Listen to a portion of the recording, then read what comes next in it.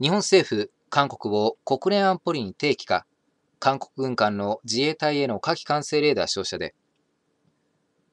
本日自民党が国防部会と安全保障調査会の合同会議を開きました。この中で韓国の軍艦が自衛隊の哨戒機に対し、火器管制レーダーを照射した事件に対して協議が行われたんですが、出席者からは、防衛当局間の協議を打ち切り、国連安保理に提起するべきだ。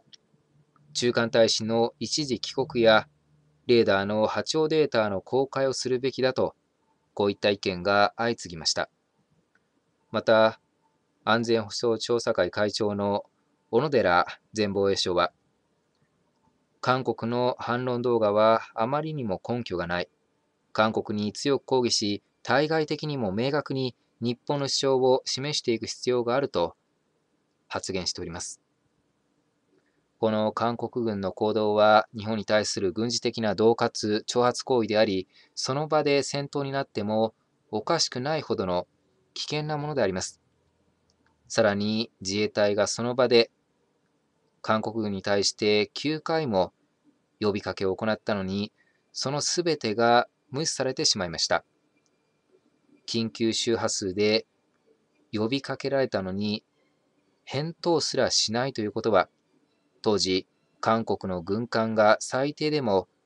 艦長によって命令が出され、戦闘態勢が取られており、軍艦全体がレーダー照射を知っていた証拠であります。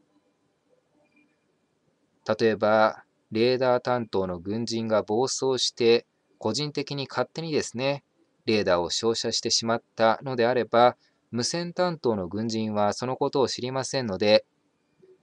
自衛隊の哨戒機が何か言ってきていますと、何かあったんですかと、その場でですね、上司に報告して自衛隊に対して返答するはずなんですが、そういったことが一切ありませんでした。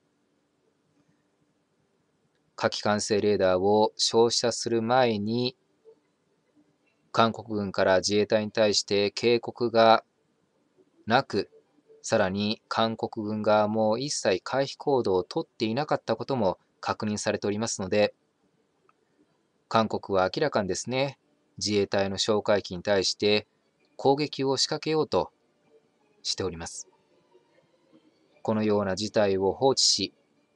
韓国政府が韓国軍が再発防止策を取らないのであれば、日本は明確に韓国政府を韓国軍を日本の敵であると定めるしかなくなりますので、日本政府にはなぜあの場に韓国の軍艦と韓国の巡視船がいたのか、事前に通報された情報と異なるですね、船がその場にいた事実についても公表し、韓国政府に対して確認を取っていただき、この火器管制レーダー照射事件、本当にですね、韓国側の主張は、韓国政府の主張はおかしなものばかりでありますので、そのすべてに対して客観的な証拠を示し、反論し、世界中に対して韓国政府の嘘を発信していただくようにお願いいたします。以上になります。ご清聴いただきありがとうございました。